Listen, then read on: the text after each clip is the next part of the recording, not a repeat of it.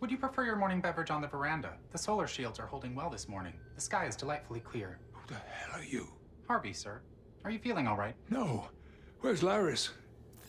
Laris, a Romulan name. In colloquial English translates roughly to a new day.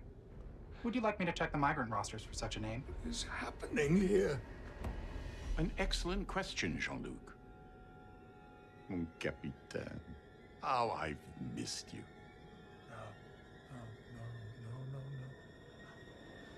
Dear, you're a bit older than I imagined.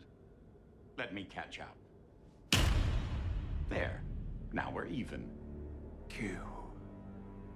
God damn Q.